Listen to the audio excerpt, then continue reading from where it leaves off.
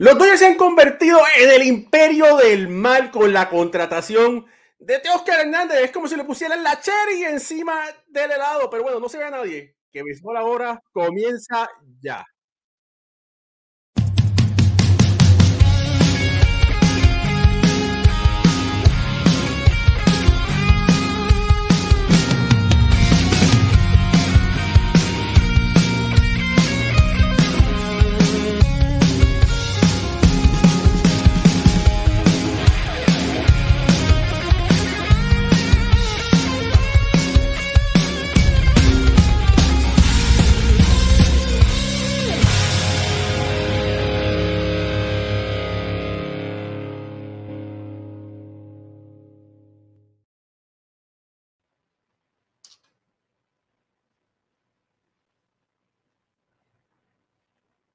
Muy buenas noches familia del béisbol, bienvenidos a otro programa más de béisbol entre amigos por aquí, por béisbol ahora. Mi nombre es Raúl Ramos y estamos en vivo y en directo. Me acompaña Ricardo Gibón desde Caracas, Venezuela y Alfredo Ortiz desde Puerto Rico, hermoso.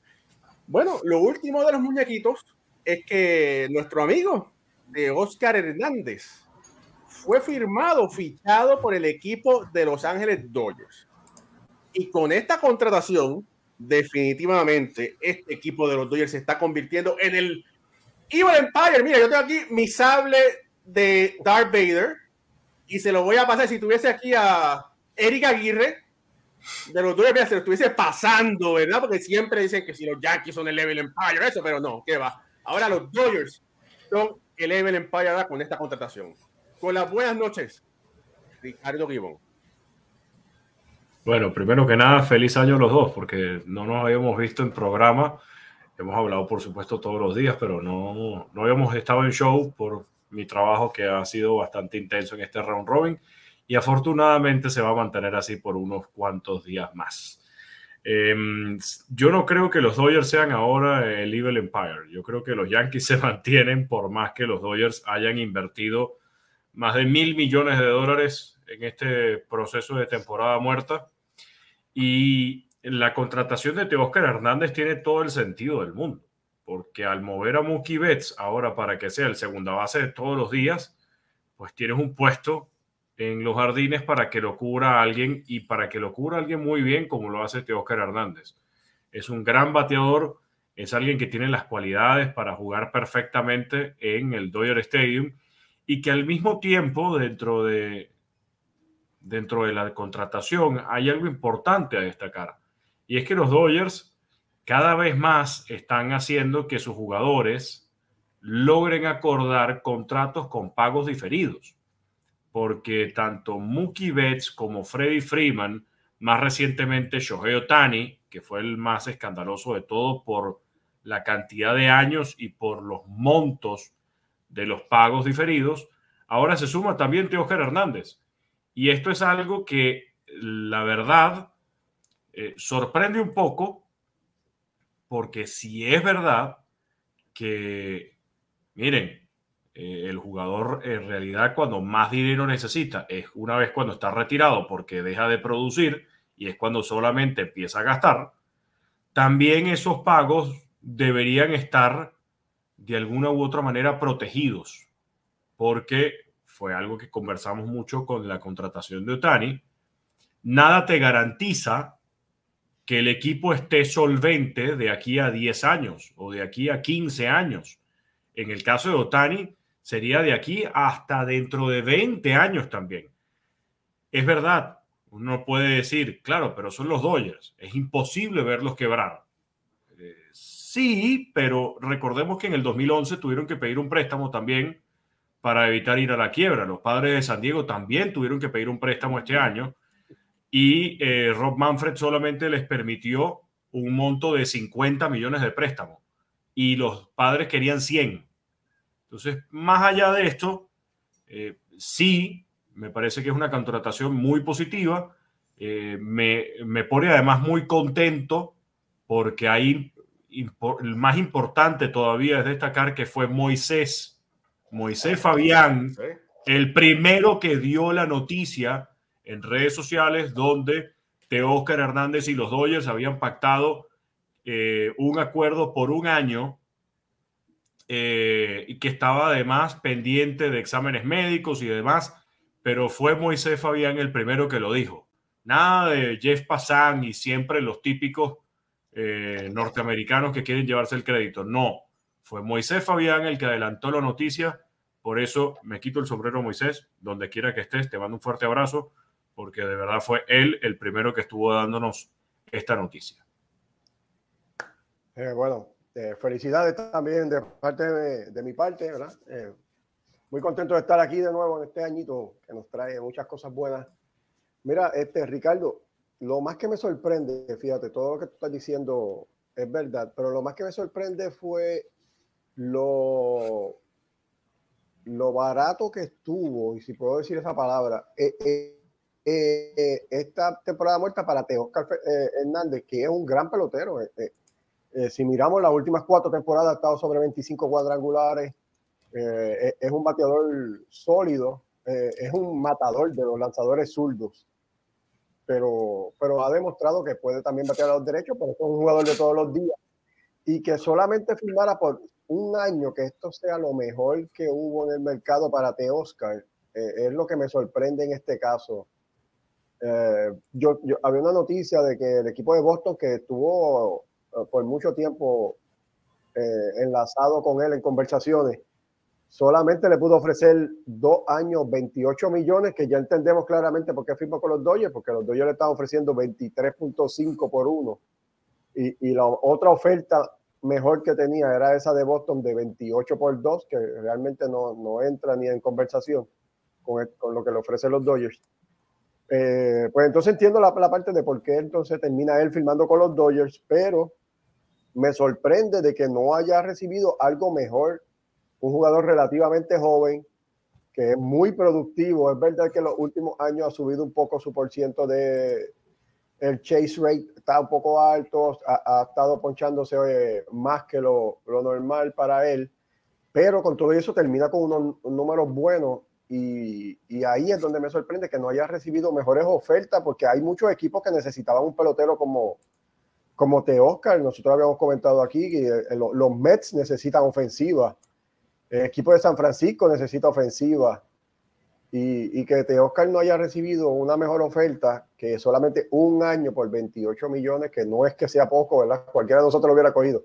Pero entiendo que, que se merecía más, se merecía más en, en este mercado. Es eh, quizás el mejor bateador que queda disponible ahora mismo en cuestión de que puede jugarte los dos lados del terreno y, eso es lo que me sorprende. Por otra parte, los Dodgers pues, siguen haciendo movimientos. Eh, parece que quieren terminar la temporada 162 y 0 porque siguen haciendo movimientos y, cargando esa, ese line-up. Ahora eh, pues ponen a Teoscar, quien, quien yo viendo algunas noticias lo, lo, están proyectando para que entonces juegue en el left field y el equipo de los Dodgers entonces tenga un platoon en el right field con Jason Hayward y Manuel Margot, que no se nos olvide este otro jugador que vino también de, de Tampa Bay y, y, podría estar en el mix de los outfielders, que, que es otro buen, buen jugador también, a, tanto a defensiva como ofensiva. Así que los Dodgers siguen sólidos. Te digo, esta, alineación se ve muy bien, el elenco monticular ya habíamos hablado de él, también está sólido Creo que con todo y eso, Raúl, entiendo yo que, que, los Dodgers no han terminado. Yo creo que le faltan algunas piezas de bullpen que quizás puedan este, adquirir, pero realmente son los verdaderos ganadores de este offseason hasta el momento.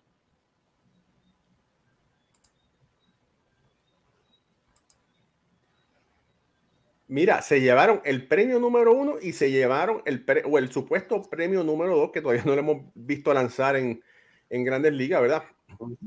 se llevaron, ¿verdad? las dos firmas más grandes en este momento.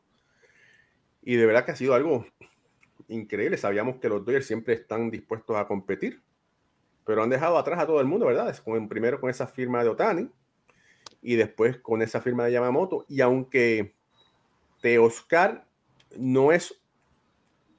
Oscar es una estrella, pero no es la superestrella que esperaban como otros contratos de 250, 300 millones de dólares pero es es increíble que no haya tenido más ofertas, ¿verdad? Eh, fue una oferta de 80 millones, que era más o menos lo que estaba buscando. Fue muy inteligente lo que hizo. Básicamente la oferta que le estaba ofreciendo Boston, eh, la cogió por un año, con un dinerito diferido ahí, que es, oye, esa es la moda, ¿verdad? Cuando tú dejas de jugar y recibes ese, ese, ese dinero extra, te ayuda a vivir mucho mejor. Y yo creo que lo comentamos aquí, eh, en uno de los shows que sería algo interesante si Oscar lograba hacer algo así. Eh, y mira, y se dio. Es lamentable que haya firmado solamente por un año, pero qué mejor que firmar con el, el mejor equipo de la Grandes Ligas en este momento, por lo menos en papel.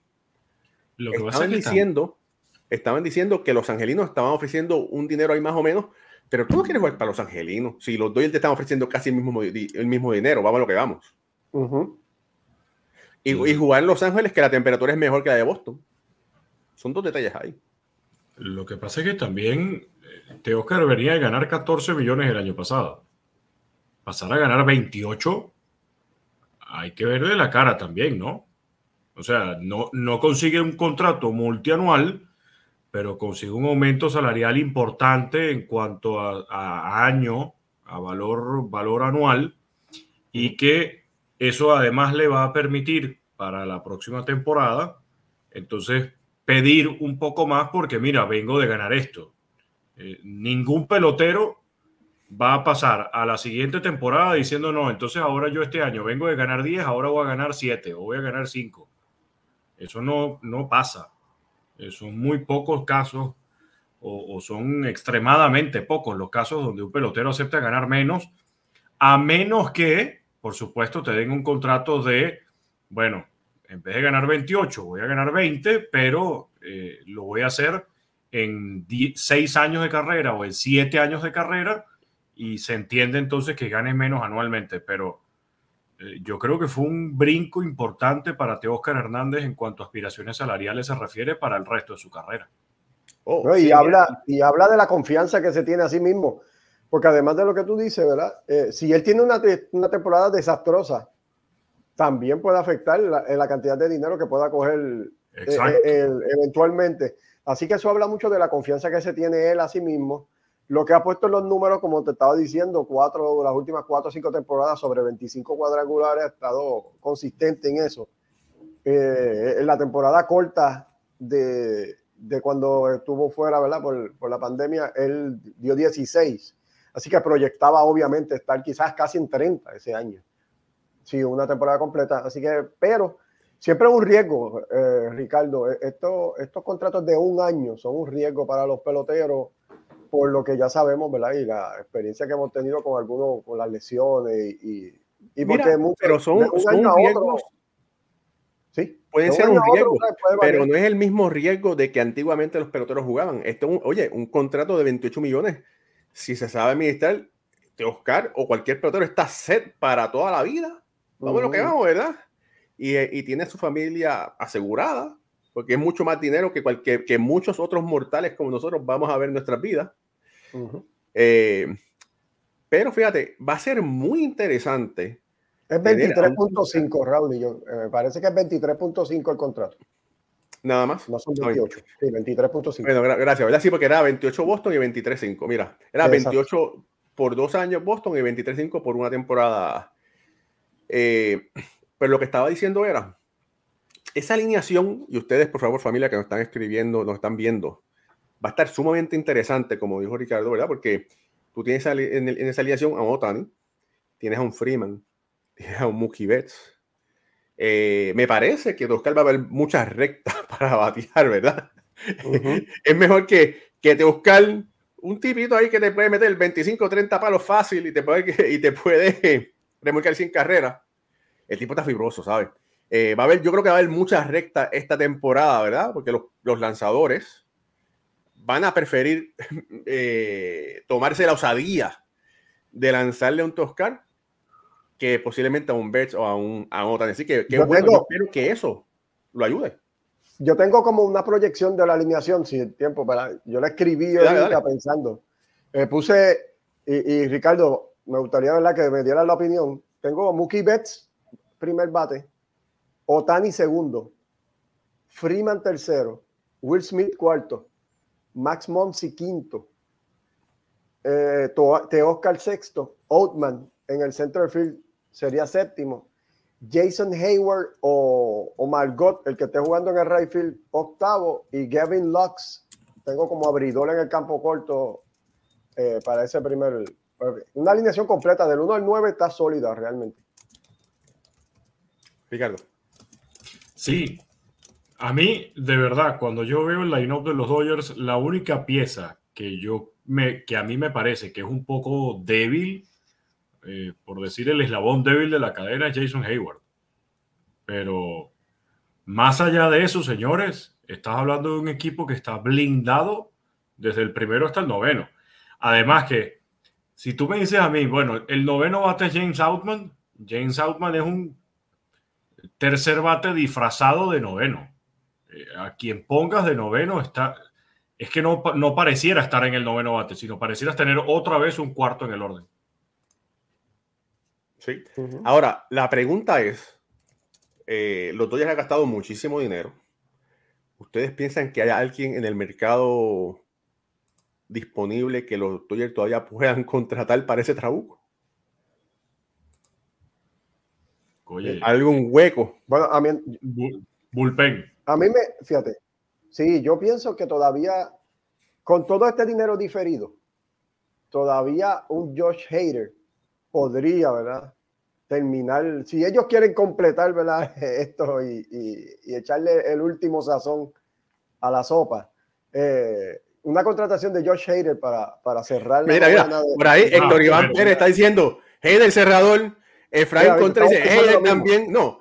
Oye, ya, ya, ya sí, si contratan a Heidel, oye, no sé, o sea, no, es que puede ser el libro, olvídate, pero de verdad que sería un super equipazo. Ya, ya son un super equipazo, pero ya con Heidel sería una exageración. Sí, ya para, con Heider le estás diciendo el resto de los equipos de la Liga Nacional y especialmente a la División Oeste, señores, no jueguen.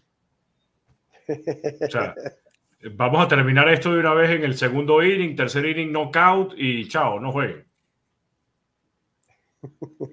ahora, no sé. Ahora, yo quiero, cuando se habla de esto, ¿Se trancó? La Champions ganó el Madrid con los Galácticos. Dilo de nuevo, Ricardo, porque se te fue la señal ese pedazo. Repita lo que estabas diciendo. Ah, que yo justamente quiero recordar que cuando se hablan de equipos superestrellas que invierten muchísimo dinero y demás, eh, ¿Cuántos anillos de serie mundial ganaron los padres de Santiago en estos últimos años? Eh, eh. ¿cuántos, ¿Cuántos anillos de serie mundial tienen los Yankees después de invertir millones y millones y millones y millones de dólares en las nóminas en sus últimos años? ¿O los Mets? O, para poner un ejemplo también de ese estilo, ¿cuántas Champions ganó el Madrid con los Galácticos? Bueno, mira, Sí, tiene, tiene eh, Entonces, todo lo que dice es cierto, todo lo que dice es cierto, pero oye, el en el papel es el equipo más peligroso en todo el béisbol. Ahora, vamos a ver qué pasa en la temporada. Bueno, mire, familia, esto es béisbol ahora. Salimos lunes y jueves live por YouTube, Facebook. Eh, nos pueden seguir por nuestras redes, eh, redes sociales. Denle like a esta transmisión, share, ayúdenos a crecer. Y miren, eh, Baseball, Baseballism, tengo el placer y el honor de ser eh, embajador de esta marca Baseballism. Aquí tienen una, mi camisa de Yogi, que es de Baseballism, que la pueden conseguir en el museo de Yogi Berra aquí en New Jersey. Y Alfredo está utilizando una, una t-shirt de Baseballism. Mira que chula está. está mira, enséñala ahí, Alfredo. La mía la busco en la maceta. La mía la busco en un mes. entonces, bueno, usted va a baseballism.com y si usted pone el código béisbol ahora 15, puede recibir un 15% de descuento en su compra. De verdad que esta ropita está por la maceta, como, como digo yo, está bien chula. Así que saludo a la gente de béisbol. Eh, rapidito, rapidito por aquí, que hay mucha gente saludando. Mira, por ahí a Julio Rodríguez, saludos. Dice que ya le dio su like. Iván Eduardo desde México, saludos hermano. Aníbal Candelaria, saludos. Víctor Manuel Otero, que parte de aquí de este show de Béisbol Ahora. Saludos. Héctor Iván Pérez, que está ahí comentando como siempre. Eh, dice Julio Rodríguez, Ricardo, qué bueno que estás aquí. Un abrazo desde aquí de Puerto Rico. Oye, Ricardo, tienes allá fanaticada, amistades allá. Está bueno eso. Eh, J. Armando Molina dice: Todos somos anti-Dodgers. El enemigo público número uno les manda un cordial saludo, caballo. bueno, hermano, hermano, saludos por ahí. Dice Julio Rodríguez, Raúl, ¿dónde está Pucho? Creo que está celebrando con Cagua. Pues no sé, está no, Pucho, bueno, pero... Mira que se acuerde, Pucho es del cangrejo. Pucho está llorando en una esquina ahora mismo allí en, en el Bison todavía. todavía Pucho está llorando en el Bison. Mira, JM Ocasio dice, los Dodgers tienen una ventana de cinco años. Bueno, vamos a ver. Perdón. Víctor Manuel dice, los Dodgers ganan sí o sí. Rafael Limardo, buenas noches, felicidades a todos. Soy Dodger pero se está desmandando. María López, saludos, saludos y bendiciones para toda la familia Raúl. Y eso, y eso te lo trajeron los reyes. Bueno, ¿qué cosa me trajeron los reyes? El sable, el sable. El, ah, bueno, este, este, es para jugar. Y si hay que meterle una pela a alguien, pues, pues por ahí está también. Eh, Alexander Cepeda, saludos por ahí. Dice Philly en 6 con los Dodgers. Oye, ya, ya Alexander está poniendo ahí sus dos pesitos desde ahora. Eh, Rafael Limar dice: si, si, no, si Robin no gana, le tiran vivo del techo del Dodger Stadium. No, oye, dígale no a la violencia. Aquí eso no se puede permitir. Saludos a Javier Villalobos, que está conectado. Eduardo Chávez, hermano, saludos. Rorito, quien memorable, está conectado también por ahí. Efraín Contreras ya dijo por ahí su comentario. Rehan Seyer, hermano, gracias por estar. Te tengo que llamar después. Jorge Luis Santo, José Luis Santana, también conectado. Vamos a ir por aquí rápido. Jaime Denizar, nuestro amigo, que está celebrando que Caguas ha pasado a la final. El Tali Talavera desde Colorado dice que está a 24 grados. Miguel Antonio Viva Río dice saludos y muchas bendiciones desde Maracaibo, Venezuela. En mi opinión, los Dodgers ya verán que no ganan la Serie Mundial este año. Bueno, Wildalis Maldonado, saludos. Ulises Mesa de Corazón Rojo y Naranja, eh, Rojo y Naranja, eh, Azul y Naranja. Dice saludos, like, like, like. Alfredo Ledesma, bendiciones Raúl, Alfredo y Ricardo. Arriba Yankees. Que muchos yanquistas hay aquí, vamos aquí. oye, eh, Alfredo, como proposición de año nuevo, esa fue tu. Te veo vistiendo un color azul bonito. vas a cambiar de bando al bando de los buenos? Este los Dodgers, porque están de moda. Dice por aquí Rafael Limaro, Ponce arriba 7 por 1 en la octava. Sí, eso es así. Bien lo repitió eh, la señora María López por ahí. No, Raúl, todo lo que hay. Bueno. Dice Rafael Limaldo que Pucho está de luto al igual que él. Bueno, no importa, porque aquí vamos a seguir hablando del deporte que nos apasiona, que es el béisbol. Ok, bueno. Eh, vamos a. Ricardo, los Dodgers pasan, van a jugar en la Serie Mundial. No te estoy preguntando si la van a ganar, pero van a, jugar, van a representar la Liga Nacional en la Serie Mundial. El papel dice que sí. O por el papel deberían estar en la Serie Mundial. Pero por cómo se reforzaron los Bravos de Atlanta en, en la rotación, está difícil. Está difícil. Alfredo, ¿qué tú crees? Mira, eh, eh, ¿sí o no? Se, ve todo tan bonito para ellos que entiendo que no, no van a estar en la Serie Mundial. Mira, Héctor Iván Pérez fue más decisivo y rápido dijo, no, no van a estar. Así que se necesita gente decisiva en este show. Eh, saludos a Roberto González, el papá de Rorito que está por ahí también conectado, nos está escuchando. Dice Alexander Cepeda, no, los peloteros de nivel se van de vacaciones en esas fechas de postemporada, no batean nada. Bueno, todo es posible.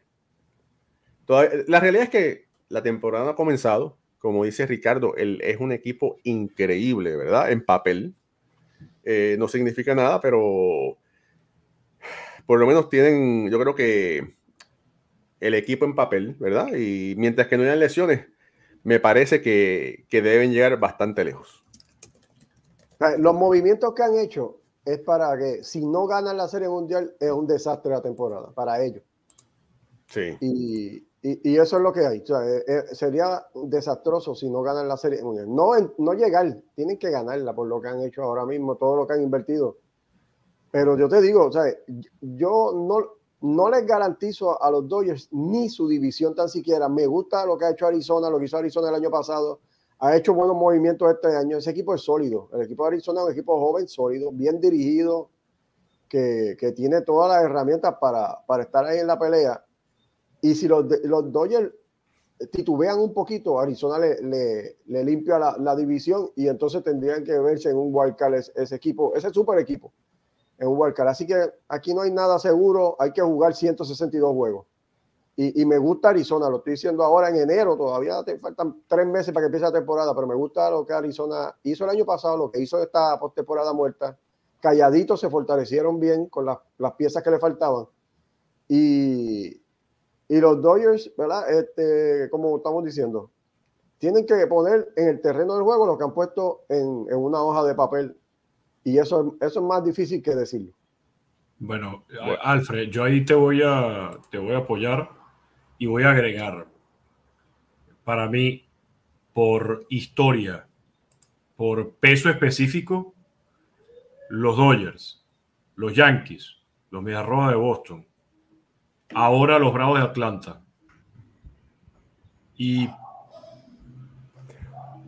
pudiera agregar a los Mets si no ganan una serie mundial, la temporada es un fracaso. Independientemente de la nómina que tengan, por historia, por peso específico, esos son los equipos que constantemente están llamados a ganar la serie mundial. Eh, más allá de estos más de mil millones de dólares que han invertido en esta temporada muerta y, el roster que están planteando los Dodgers para esta campaña, ellos o ganan o es un fracaso. Bueno, mira, aquí tengo un video para nuestro querido amigo Pucho Ba primer momento. Así, así era el cangrejo. Se quedó sin palanca. ¿no? A dormir. Mira. Le aplicaron la dormilona. Pero bueno, eso pasa. Eso pasa en las mejores familias.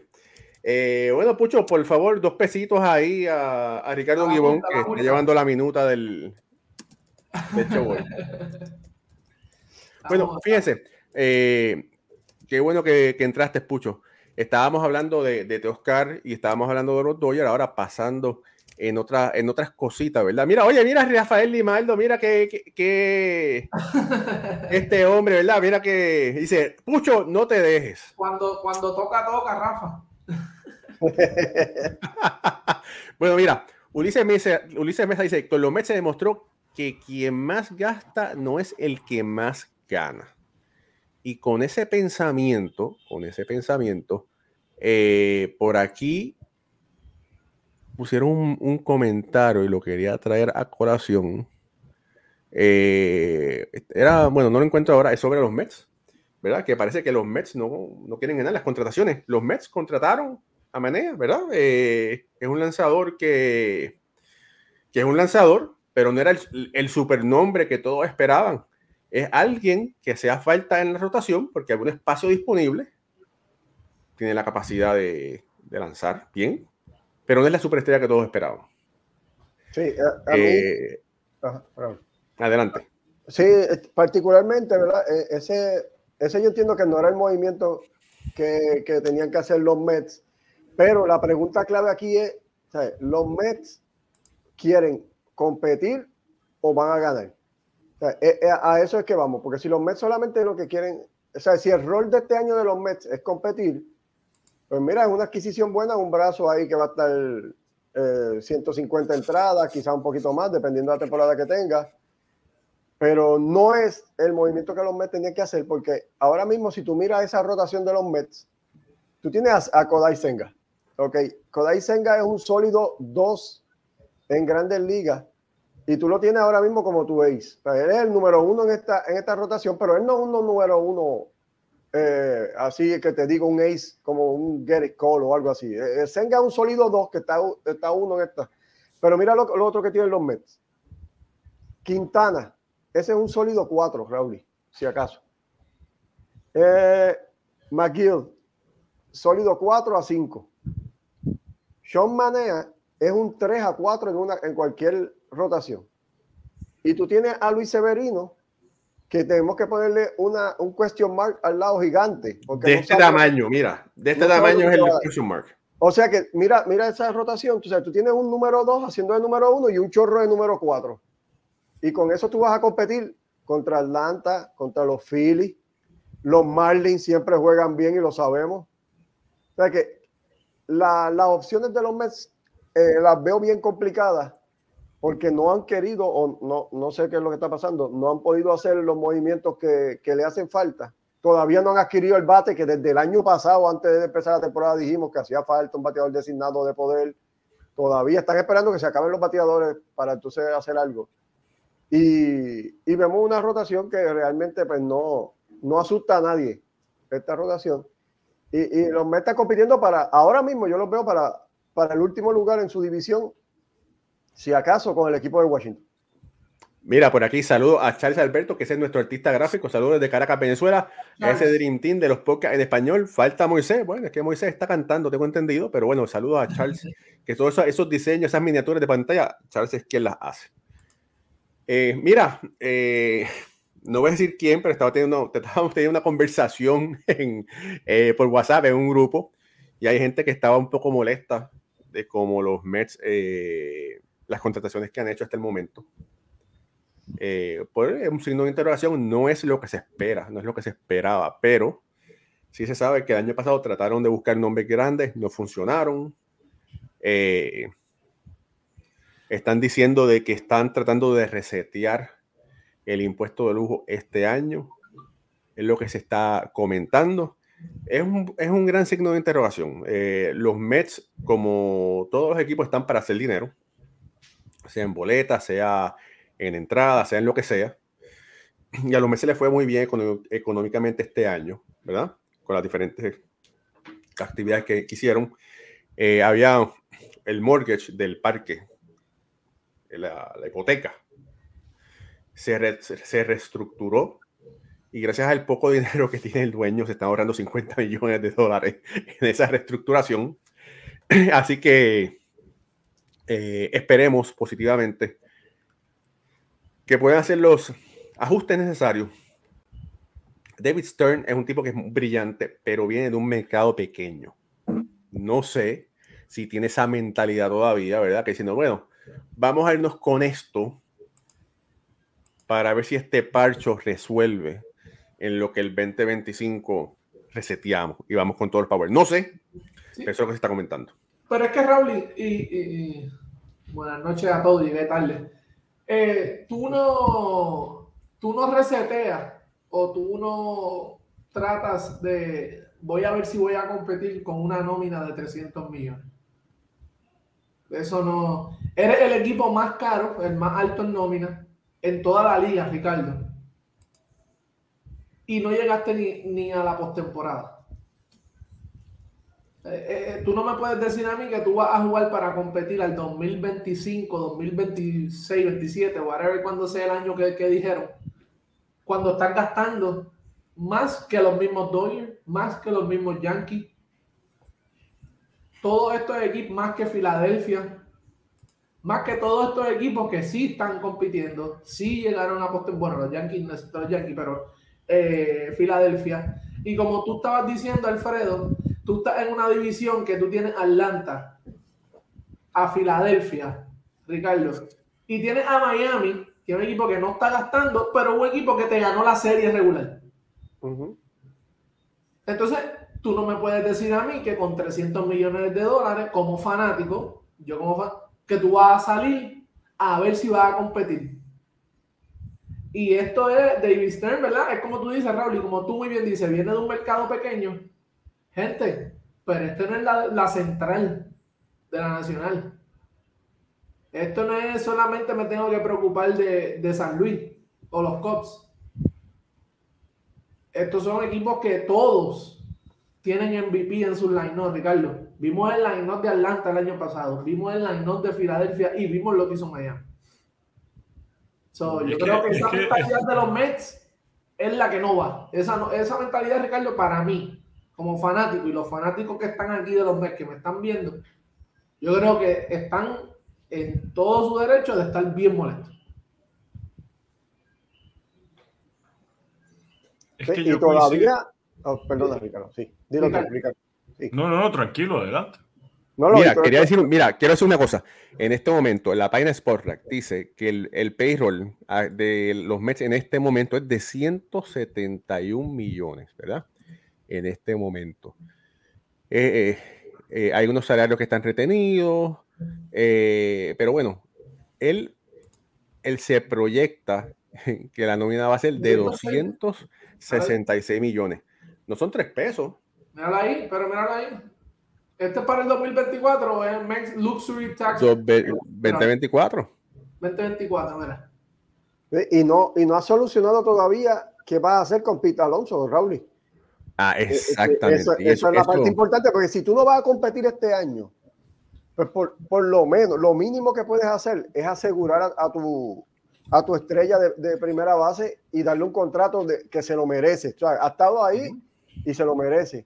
Y si, Porque no, ahora, y si no, ahora mismo- perdona, y si no vas a competir, cámbialo. cámbialo, exacto, eso es lo que estoy diciendo. O sea, si tú- ¡Cámbialo! si no dar- le quieres dar contrato y si no estás y si no y si tú dices que no voy yo no voy a competir sino hasta el 2030 ah bueno cambia el tipo. O sea, no le falta de respeto a, no le falta de respeto a este jugador. tú sabes la teni- cantidad de equipos que te darían lo que sea por Pete Alonso Claro, coges tres o cuatro prospectos buenos y entonces compites para cuando tú quieres, 25, el 26, lo que tú quieras hacer. Pero entonces ahora mismo lo, lo tienes ahí, no decides qué hacer con el hombre y, y- y en esa incertidumbre, o sea, innecesariamente porque ha probado de que se merece que, que los Mets le den el contrato que tiene que ser y, y que se quede ahí en esa camiseta. Mira, quiero, quiero a- a- aportar algo. Mira, eh, hay un contra, el, el contrato de Sterling Marte, eh, bueno, es un peso para el equipo, hay una opción eh, aparentemente para el 2025. Eh, el, el- la nómina del 2025 en este momento de jugadores firmados es de 137 millones de dólares. Eh, y ese dinero está en Lindor, eh, Marte, en Nimo, en McNeil, en Kodaisenja y en Edwin Díaz. bueno Parece. pero- bueno, pero, te pero- estoy diciendo, o sea, solamente estoy viendo el futuro, ¿verdad? claro pero ajá pero ahí tienes que agregar lo que pasa es que se tiene que agregar también dentro de esos contratos el de Pete Alonso que no aparece todavía Claro. porque como está en su último año de arbitraje Y ¿No eso parece ahora. como, como uno de los pesos importantes de la nómina de los Mets? Que afortunadamente en este 2024 es el último año de arbitraje de Pete Alonso y bienvenido a la agencia libre porque la verdad es que cualquier equipo en grandes ligas buscaría tener a alguien como Pete Alonso. Oh, sí, claro. Fíjate, y este contrato que le ofrecieron a Teoscar de un año, de por cuánto, 23 y medio, donde son 8 millones, creo que le van a dar eh, después más tarde, 8.5. eh, más adelante. Esto sirve de, de formato para Alonso, ¿verdad? Esto sirve, sirve de, de formato para muchos otros peloteros. Eh, yo pensaba que, bueno, yo pensaba que, que Alonso podía estar en alrededor de 18 a 20 por temporada, ¿verdad? Era lo que se pensaba. Se pensaba que podía recibir un contrato de 160 millones, pero bueno, los últimos contratos de, eh, de Yamamoto, el contrato de, de Otani, todo eso, pues ha hecho que todos estos contratos suban. Yo no pensaba que Alonso iba a ser un jugador de 300 millones, pero de acuerdo a la, su verdad, Boras va a tratar de exprimir cada centavo eh, de ese contrato. No sé cuál es la cantidad de dinero que estaba buscando para Alonso, pero definitivamente el valor de Alonso comparativamente con el resto de la otra liga ha subido astronómicamente. Si es que los Mets lo firmen otra vez, que yo quisiera que los Mets lo firmen, porque Pete Alonso en este momento es comparativo a lo que fue David Wright para los Mets. Vamos a lo que vamos. Un jugador que creció en la organización, se convirtió en una superestrella y es la cara de la franquicia. Punto y bolita, ¿verdad? Debe ser firmado. Pero eh, no va a firmar una extensión, él va, a ser- él va a firmar un contrato en la agencia libre. Deben, ellos tienen, tienen que, antes de estar, ¿verdad? De ir a, a buscar más picheo y todo, ellos tienen que arreglar eso. Porque si no, tú no quieres tener, porque eso, va a ser dos cosas, Raúl. O va a ser un, una distracción para la temporada. Y si tienen una mala temporada, yo creo que esto va a traer un revuelo. Eh, y el primer mes y medio del calendario de los Mets van, son muchos juegos en la carretera y va y está muchos juegos con equipos con equipos, equipos grandes como Atlanta eh, y todo esto. A ver, deja buscarlo bien para. Oye, en lo que Pucho lo busca, este programa viene a ustedes gracias a Carlos Bonilla de cuidatufinanzas.com. Visita el website, puedes ahí darle descargar a la agenda que tiene que te puede ayudar a planificarte mejor. Si necesitas ayuda en tu plan de retiro, aumento de activos, planificación de presupuesto y plan para situaciones inesperadas, Carlos Bonilla es tu persona de confianza con la que te puede ayudar. Y dile que lo escuchaste por aquí, por Béisbol Ahora. Fíjate, en lo que Pucho está buscando eso, otra de las notas que están saliendo, de las noticias que están saliendo, es que Marcus Stroman quiere ser un Yankee, pero parece que a los Yankees no les interesa aparente alegadamente. Sí, y, no me acuerdo quién fue el periodista que lo puso. O sea, Marcus Stroman le está diciendo a los Yankees desesperadamente, quiero firmar con ustedes, y los Yankees están volteando por otro lado. Sí. Mira, a mí me sorprende, sinceramente. En abril, Alfredo, mira, tienen Atlanta. La segunda semana de abril tienen, una, tienen cuatro juegos con Atlanta. Después una serie con Kansas City. Sabemos lo que, lo que ha hecho el equipo de, de, Kansas City en, ¿verdad? En, esta, en esta temporada muerta, que se ha preparado muy bien. Ha hecho buenas adiciones, buen picheo y sabemos ese equipo que es un line-up joven y bien talentoso. Va a una serie con los Piratas. Luego, ese próximo fin de semana, en abril, se enfrentan a los Dodgers, una serie de tres días. Luego, después San Francisco, que sabemos también el equipito, ¿verdad? Que siempre tienen buen team. Después va San Luis. Eh, y en mayo vuelven, al, vuelven el segundo el primer fin del segundo fin de semana con Atlanta. Luego Filadelfia, Miami, eh, los Dodgers, Arizona. Eh, y es hasta junio que, ¿verdad? no, no les baja la carga, vamos Washington, Miami. Eh, yo creo que el schedule de los meses este año es un equipo que si no, no eh, tienen un buen comienzo. Pucho, ten cuidado que no te, vamos, no te vamos a dejar entrar a la cabina de transmisión. No, no, yo estoy diciendo, yo estoy diciendo la realidad, Raúl. Y es, Mira, Raúl. Sí, tienen que, hay que hacer los ajustes. Hay que hacerlo. Eso, eh, yendo a lo de Strowman. Que sepa, mira, yo soy, yo soy Raúl, no voy a decir que no. Oh my God. Tipo está ready, mira. Ah, yo, Pucho está. oye, pero fíjate, una cosa, y todavía les falta un designado. Por ahí están escribiendo, les hace falta un designado eh, que deben, ¿verdad? Deben, deben contratar. Me gusta Jedi Martínez. Eh, pero bueno, sabrán, ellos sabrán. Alfredo Ortiz. Sí, mira, te iba a decir de lo de Strowman. Eh, aquí me, lo, que me parece es un movimiento como de desesperación de Strowman, porque está viendo que ya estamos en enero, no, no se ha oído mucho de él y, está, está como que tratando de mover la ficha él mismo y, haciendo este tipo de comentarios. Eh, él tenía una oferta de 21 millones con los Cops que la rechazó. Y yo no sé si en el mercado él va a conseguir algo mejor que eso ahora mismo. 21 millones por un año. No sé si va a conseguir algo mejor que eso, Marco Stroman. Y, entonces entiendo yo que eso, es lo que está haciendo, un movimiento como de desesperación, poniendo su nombre aquí, él mismo poniéndolo en el mercado, a ver. Y lo que yo creo que está usando a los Yankees es como leverage, porque eh, ya hemos visto en otras ocasiones Stroman en las redes sociales poniendo comentarios de los Yankees. Me acuerdo que una vez puso una foto de 50 Cents haciendo así como que yéndose por un carro. Cuando alguien le puso una camisa de los Yankees, como que no, no le interesa y ahora entonces está cambiando de parecer. Eh, no sé, Raúl, esto no, me gusta, no, veo no veo un matrimonio bonito entre los Yankees y Marco Stroman. No es el tipo de pelotero que yo entiendo que a los Yankees le hace falta. No lo veo ahí, no, lo veo ahí. no, lo veo con los Yankees, fíjate, a Stroman. Mira, lo veo eh, como eh, él tratando de, mover las fichas de su parte. Mira, hay peloteros que no encajan en todos los equipos. No sé si Stroman sea ese tipo de pelotero, ¿verdad? Es un tipo que es muy talentoso.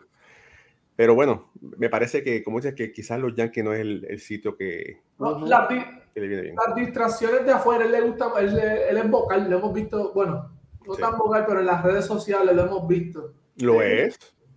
Y yo creo que eso a los Yankees y Ricardo está aquí, que nos puede decir sobre qué tipo de pelotero le gusta a los Yankees. Yo creo que Stroman, Ricardo, no, no, no entra. Fíjate, antes de darle, antes de darle la, la, la voz a Ricardo, eh, familia, quiero invitarlos a Cultura Béisbol. Es un podcast que estamos realizando junto a nuestro amigo Víctor Flores. He grabado. El próximo episodio saldrá este miércoles sobre las maldiciones en el béisbol. Se los recomendamos, se los recomiendo. ¿Verdad? Eh, Cultura Béisbol es eh, un show que no es necesariamente de lo que está pasando actualmente, pero sí es algo para todos los amantes de este gran deporte. Cultura Béisbol. Ok. Eh, Ricardo, ¿te parece Stroman para los Yankees? O, de los pitchers que están disponibles, ¿cuál te gustaría para los Yankees? A mí me parece que Marcus Stroman es un tremendo pitcher. Y además, no solamente me parece un tremendo pitcher, me parece que es un pitcher que puede ayudar mucho a los Yankees. Ahora, es el pelotero eh, que yo creo que encajaría en los Yankees. Me parece que no. Me parece que no ya muchos, eh, muchos peloteros, de hecho, han firmado de los que estaban en la agencia libre, porque Yolito firmó, Eduardo Rodríguez firmó, Austin Nola firmó, eh, Frankie Monta firmó. Eh, de los que quedan disponibles, mira, son muy pocos, la verdad. de verdad hay que hurgar con pinza para ver si encuentras algo que, que pueda ser útil. A mí me encantaría que regrese Jordan Montgomery. Te, voy a cortar un momento ahí. Me parece que los Yankees les conviene más si les conviene mejor si consiguen un lanzador por el mercado de cambios. A mí, por eso, a mí me encantaría que regresara eh, Jordan Montgomery. Y al mismo tiempo Brandon Woodruff está disponible. Y los cerveceros de Milwaukee también dejaron a entrever que podía estar disponible Corbin Burns. Corbin Burns me parece que encajaría perfecto en la rotación de los Yankees. Eh, ¿Pudiera ser este un lanzador que llegue vía cambio? Sí, pero ¿cuánto estarían dispuestos a entregar los Yankees por Burns? Y al mismo tiempo, ¿cómo quedaría la estructura salarial de los Yankees con un lanzador de esa magnitud dentro de los Yankees? Sería una pregunta interesante, pero de nuevo, yo me iría por, si tengo que sumar alguno de los brazos, Woodruff, Montgomery o, Burns. Y muchos preguntarán, bueno, pero ¿por qué no Blake Snell? Que también ha ido sonando mucho en estos últimos días. Eh, Blake Snell es un lanzador que durante su carrera no ha ido largo con los Reyes de Tampa trabajó máximo cinco innings por apertura. Y después con los padres de San Diego trataron de extenderlo un poco. Y el problema está en que se agota el brazo. Entonces al final de la temporada ya ves un pitcher que no es dominante. Pasó en esta campaña. Era Blake Snell, pero el Cy así, listo. Claro, termina ganándolo, ¿no? Pero al final los números no fueron de Young y mucha gente empezó a dudar si era efectivamente o no Blake Snell el que iba a ganar el premio. Ah, bueno, fíjate, ahora hablando así que nos quedan 10 minutos aproximadamente, aproximadamente de programa. Queda mucha gente libre. Está Snell, está Bellinger. ¿Dónde tú crees que, dónde te parece que, que Snell pueda ir? ¿A quién le pregunta? Cualquiera que quiera conectar. Sí, a mí me parece que Snell encaja bien en San Francisco. Me parece que encaja bien en San Francisco. Ha sido un pitcher dominante sobre, sobre el equipo de los Dodgers en su carrera, con los años que tuvo con los padres. Y entiendo yo que San Francisco necesita ese, ese ace ahí para, para completar su rotación. Ellos ya cambiaron por Robbie Ray, sabemos que hicieron un cambio pero Rey no va a entrar hasta julio, porque viene de Tommy John y hay que ver cómo viene. Así que ah, yo entiendo que me gusta Snell en San Francisco.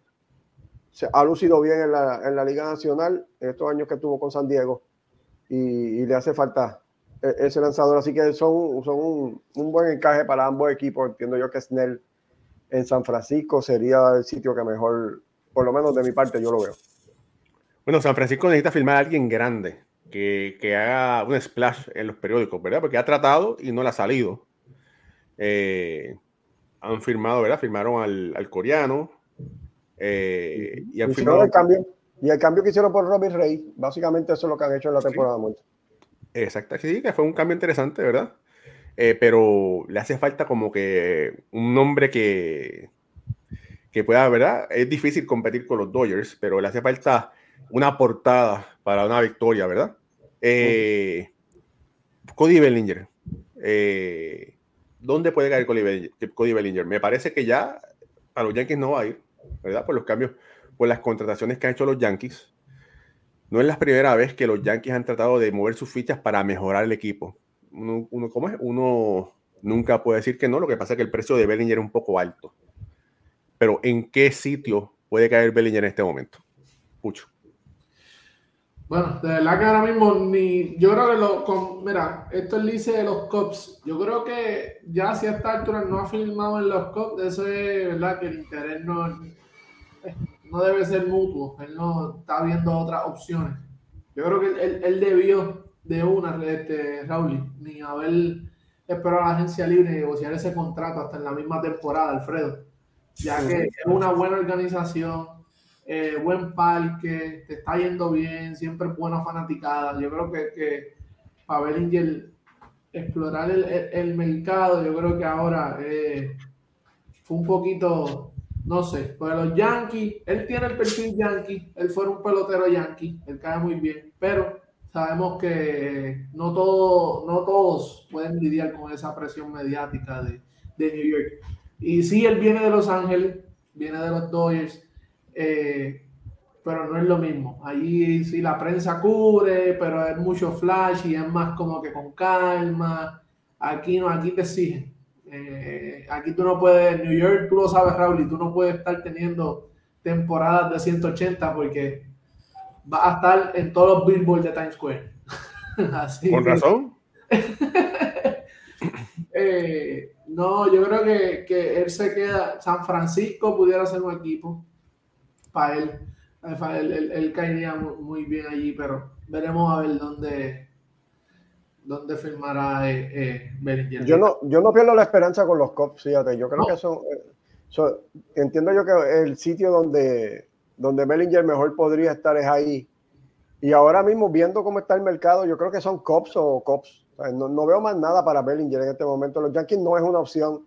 Después de lo de Verdugo y Soto, ya se acabó la oportunidad de Bellinger en, en Nueva York. Eh, entiendo yo que los Cops es el sitio, y no solamente él, me gustaría que firmaran a, a Matt Chapman también. Y sería, esos son los dos movimientos que los Cops tienen que hacer ahora mismo. Hay que estar. Fortalece la tercera base. Me gusta Chapman. Es un guante seguro. ¿Cómo? Está pidiendo mucho. Sí, pero ya tú sabes que mientras se vaya acercando la temporada, el comienzo de la temporada, eh, lo que están pidiendo va a ir reduciendo porque eh, esos peloteros quieren firmar. Así que ya estamos ahí a, a ley de nada. Entiendo lo, que son dos movimientos que los Cops deben hacer. Chapman y Bellinger son los dos movimientos, fortalecen esa alineación completamente. Chapman no va a ser tu estrella en ese equipo, tiene muchos bateadores de, de calibre ahí. Y sabemos que Chapman, aunque es un bateador un poco inconsistente, te va a poner unos numeritos aceptables, es un guante de oro en tercera base. Así que me gusta mucho Chapman en los Cops, Bellinger también. Esos son do, dos movimientos, Raúl, que me gustaría que los Cops hicieran. Toronto tiene que hacer algo, o debe hacer algo. Pero, mm. mira, por ahí dice que los Mets pueden darle algo a Trevor Bauer. Los Mets trataron de conseguir a Trevor Bauer y Bauer terminó escogiendo a los Dodgers a la última hora. No sé si Bauer es el pelotero que los Mets quieren. Es un tipo que es bien conflictivo no es, y es muy talentoso, ¿verdad? Mira, no sé si vale la, la, la, pena meterse en ese, en ese revolú, pero eh, se ha demostrado que si tú produces en Grandes Ligas vas a tener un trabajito en cualquier lado. Así que estamos esperando a ver por fin qué va a pasar con Bauer, aunque, aunque eh, él salió inocente, pero no inocente. Los, eh, el caso se cayó. Vamos a hacerlo, a hablar con propiedad. El caso que se cayó. Sí ha tenido mucha, eh, mucha mala fama, ¿verdad? Mucha mala fama, muchas acusaciones de otras féminas, porque dice, ¿verdad? Que se ha dicho, se ha ventilado que el hombre en la intimidad eh, le pega a las mujeres. Es lo que se ha dicho. Eh, y ese es un problema, ¿verdad? Que ahora mismo que, es lo que está sucediendo. Raúl, ahora, te iba a decir algo así. Y aquí, ¿verdad? Eh, en forma de broma, pero ¿qué tú crees si un equipo como de Oakland que, que no tiene nada que perder, pues decide firmar a Bauer, firma a, a Stroman firmas a Tim Anderson, que también ¿verdad? está por ahí y es uno de los que se habla que es un poco problemático. Y, y te, ¿Y, y te la juegas con eso, con esos peloteros. Y, firmas a Puig también. A Puig, y no sé si, si Urias está pendiente, eh, pero ¿sabes? y hace una, un equipo que no tiene que perder. Mira, tienes que buscar, tienes que buscar a un médico chino que resucite a Billy Martin. porque de verdad que necesitas a un manager con los cartones así de grande, ¿verdad? Así de grande para poder trabajar con, con todos esos eh, esas mentalidades diferentes. Ahora, pero fíjate, les tengo una, una pregunta a todos ustedes y, y, quiero aclaración. Wander Franco, sabemos lo que está sucediendo. En este momento se está hablando, bueno, eh, Tampa le va a pagar dinero porque los contratos garantizados me parece que se está, que aún no se, no se ha dicho nada claro, ¿verdad? No. Eh, está siendo investigado en la justicia dominicana y de acuerdo a eso, ya terminó. Sí. Ya terminó y lo que el caso en Dominicana es que prácticamente está bajo libertad condicional. De hecho, no le, no le imputaron ningún cargo, no hubo, no hubo nada. Simplemente fueron unas audiencias para oír a las partes y todavía no se le ha imputado algún cargo para que haya una acción judicial en contra del pelotero. La única forma en que los Reyes de Tampa no le paguen el contrato a Wander Franco es que él sea encontrado culpable en algún cargo criminal, ya sea en la corte en Dominicana o sea en una corte en los Estados Unidos. Lo que pueden hacer en este caso los Reyes de Tampa, es negociar con el pelotero para, eh, mira, no te vamos a pagar el resto del contrato porque eh, no nos parece que todo esto esté muy bien y ahí van entonces a una discusión y a una negociación, ahí donde van a una negociación donde por supuesto va a tener que intervenir el sindicato de peloteros, pero sí el contrato de, de Wander Franco y todos los contratos en grandes ligas son garantizados. Lo que pasa es que, como bien sabemos, MLB hace una investigación aparte de lo sucedido. Y Wander Franco puede ser encontrado culpable en esa investigación una vez que se realice. Pero por ahora, Major League Baseball no ha dicho absolutamente nada con respecto al caso de Wander Franco. Lo único que se sabe es que sigue bajo la licencia administrativa de manera indefinida, que ya por ahí bien sabemos que tanto MLB como el sindicato están ignorando lo que dice el CBA con respecto a la licencia administrativa y también lo hicieron con el caso de Julio Urias y por supuesto lo hicieron antes con el caso de Trevor Bauer. Así que mientras tanto, eh, Wander Franco está en Dominicana, eh, a la espera de ver qué es lo que sucede en la corte. Como los peloteros no cobran sueldo desde... Ricardo, Ricardo se cortó. Bueno, estaba diciendo Ricardo que los peloteros no cobran después del... Eh, en octubre primero ya los peloteros dejan de cobrar, ¿verdad? Porque solamente cobran durante la temporada regular. Parece que Ricardo se frizó, se cayó. Eh, y entonces por eso es que en este momento eh, de Franco no está eh, recibiendo ningún salario. Ahora, eh, yo escuché, leí varios rumores y no sé si Pucho me puede rectificar. Una de las cosas es que la mamá de la niña, porque es una niña, tiene 28 años. Así que parece, si ese, si ese es el caso, eh, la mamá de la niña quedó embarazada a los 14 años, ¿verdad? Si ese es el caso, 13, 14 años.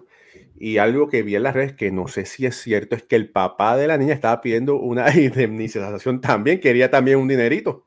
Entonces, ¿con qué fachatez tú puedes pedir un dinero?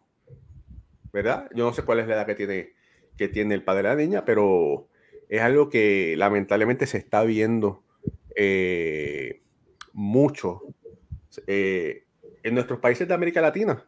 Antes se veía más en Puerto Rico, se está, yo creo que se ve menos en Puerto Rico.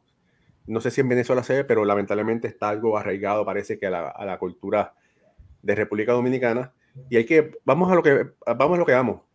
Sí, hay muchas niñas y niños que están activos sexualmente, lamentablemente, y no debería ser. Pero cuando tú eres un adulto que tienes uso de razón, no andes con una niña porque primero que está mal, segundo debes ir preso porque es un delito. Te estás aprovechando de una persona, sea hembra, sea, sea macho. y, y, es como tú dices. que lo que hizo, lo que hizo Wander está mal. Vamos a lo que vamos.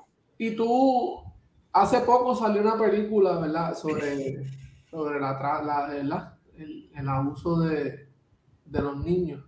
Y bueno, y se publicó la lista hace unos días.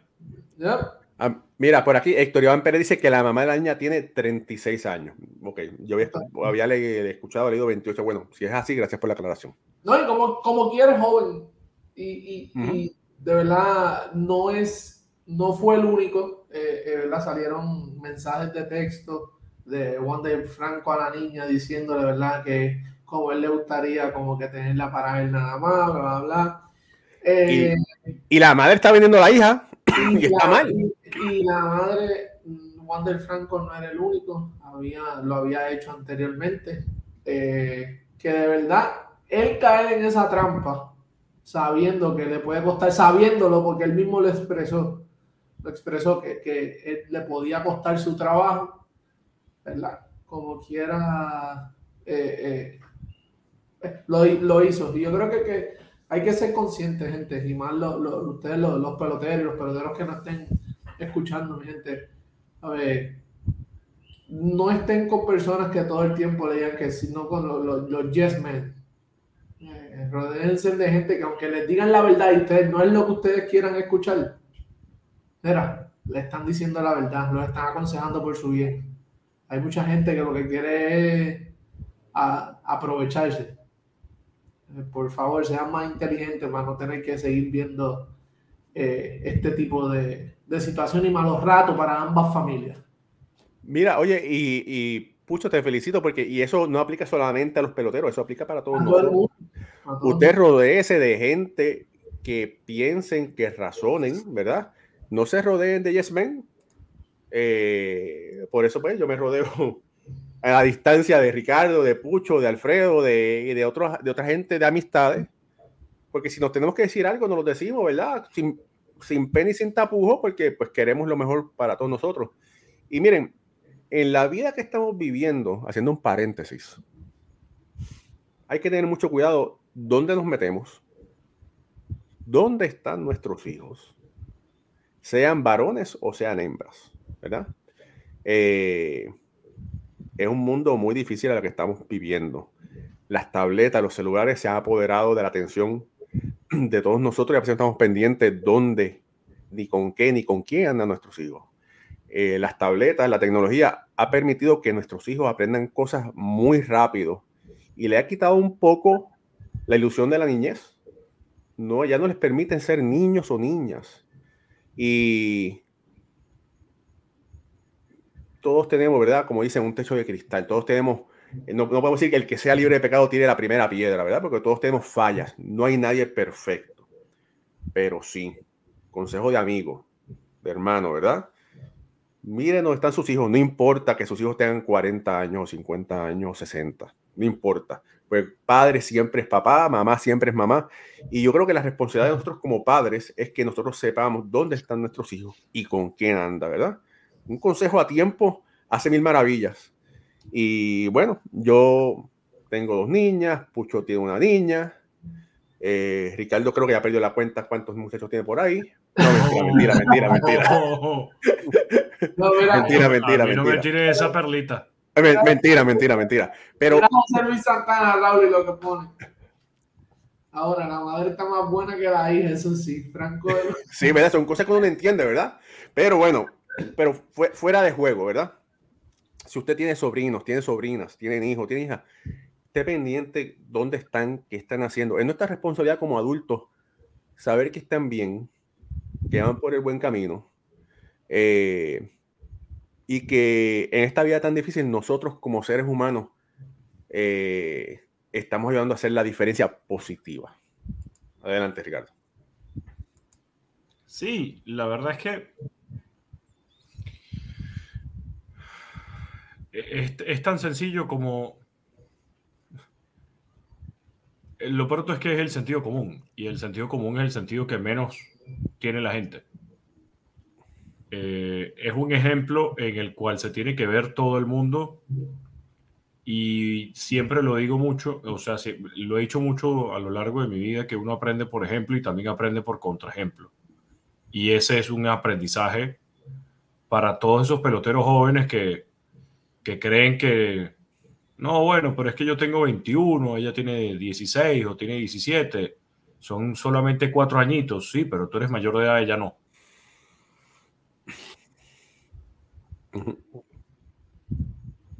Muy cierto.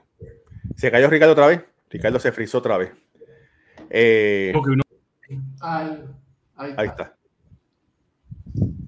Es que me está votando la misma aplicación. O sea, el mismo Stringer es el que me está votando. No es lo mismo que tú digas, bueno, yo tengo 35 y ella tiene 31. O yo tengo 28 y ella tiene 22 o 26 la diferencia es enorme en cuanto a la ley y eso es lo que uno tiene que estar pendiente. Así Bueno. Nada, familia, piensa las cosas dos veces si usted y rodece y si tiene que pedir consejo, pida consejos de alguien que usted admira por las buenas cosas, no por las cosas que usted crea que le vayan a traer dudas. Alfredo, hermano, eh, ¿algo que quiera decir para cerrar? Nada, así mismo, ¿verdad? Lamentable esta situación, espero que salga todo bien para, para, ambas partes. Y, y nada, que, que, siempre, ¿verdad? Veamos el, ejemplo de, de, los demás para no repetir los errores y, y, que, y, que, sepamos, ¿verdad? Que no se puede violar la ley. ¿eh? Esta, esto es algo que, que tenemos que tenerlo en mente. Estos peloteros que se convierten en millonarios, muchos de ellos a veces piensan que, y no solamente los peloteros, cualquier persona, que están por encima de la ley, porque tienen de todo, no les hace falta nada, pueden hacer lo que les da la gana con el dinero, pero no es así.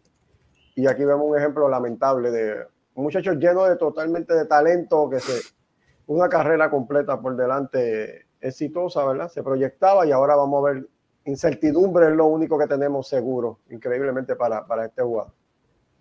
Y nada más, Raúl, y así, así es la vida. Oye, Raúl y Alfredo están gozando. Empataron la serie los Leones, Ricardo. Séptimo juego mañana. Espérate, espérate, espérate. Mira, mira. Tengo dos leones, mira, aquí está el primo que me oye, todo el mundo me está tirando. Llegué y está todo el mundo. me, están enviando fotos de cangrejos en asopado. Me ponen videos. nadie, nadie ha hecho eso. De momento. Yo no sé de qué estás hablando.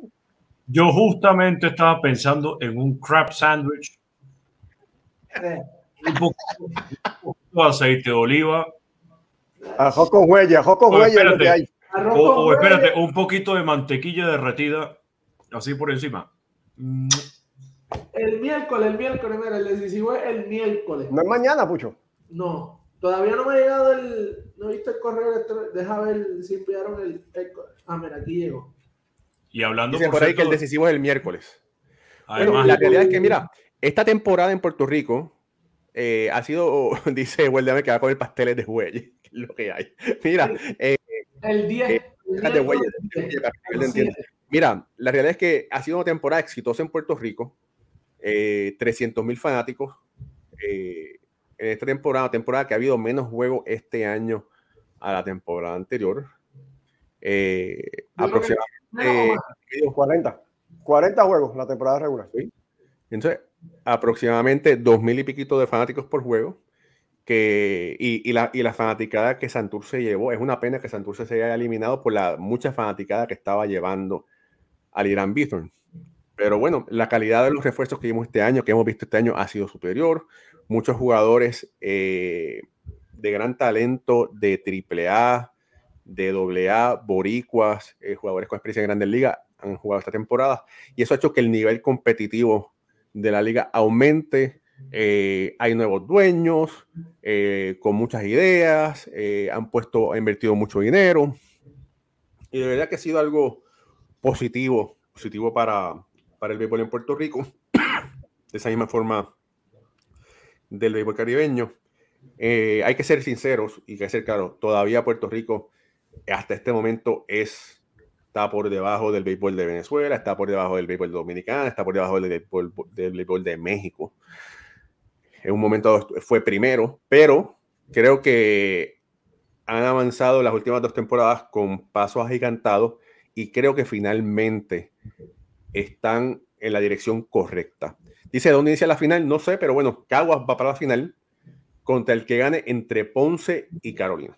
Como quiera que sea, Cagua empieza en la carretera, porque Cagua fue el segundo equipo mejor y, Ponce fue el tercero, Cagua fue el cuarto.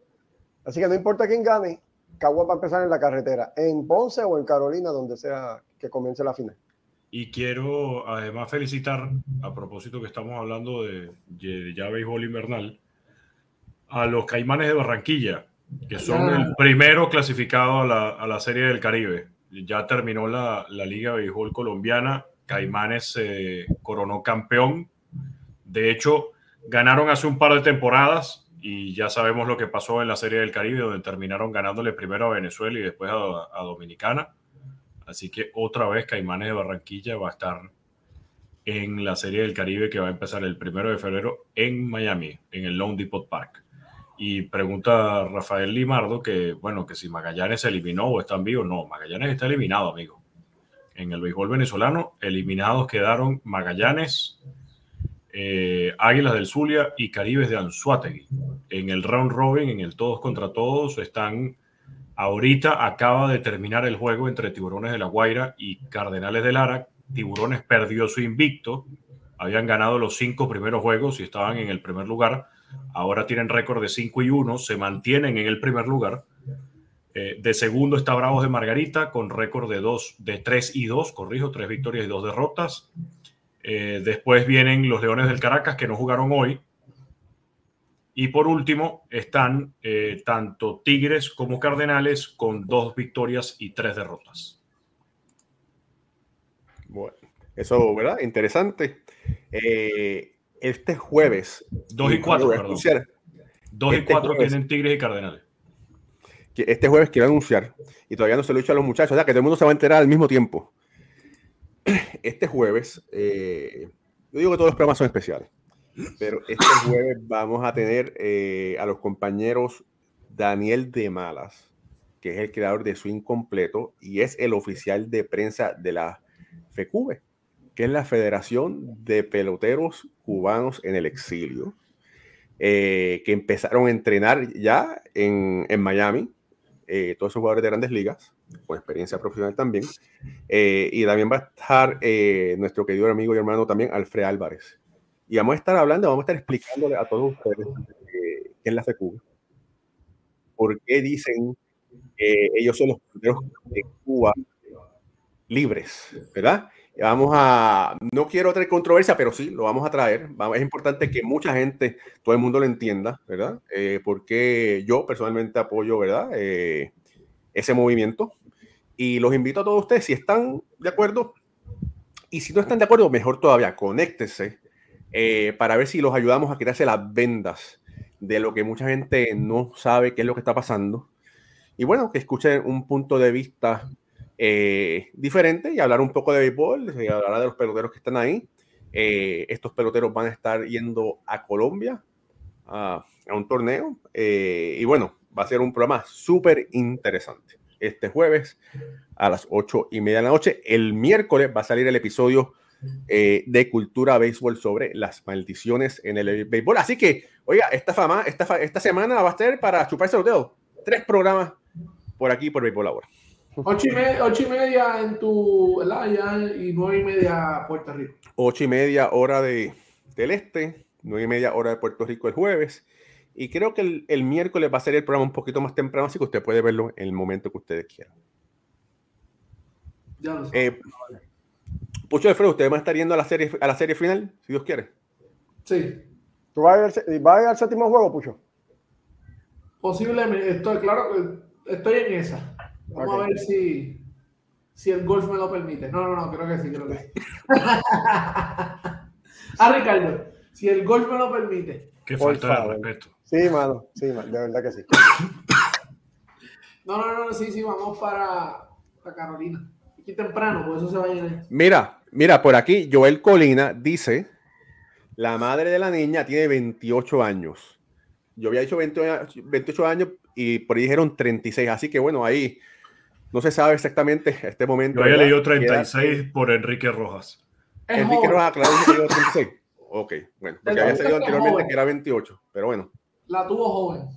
Y pues, Sí, pero bueno, si, si la tuvo con 21 años, bueno, pero bueno, se había dicho, parece que incorrectamente que era 28, pero bueno, no importa. Eh, lo que está mal está mal. Y si, y si esta mujer está vendiendo a su hija con 36 años, mira, merece ir presa también. Amén.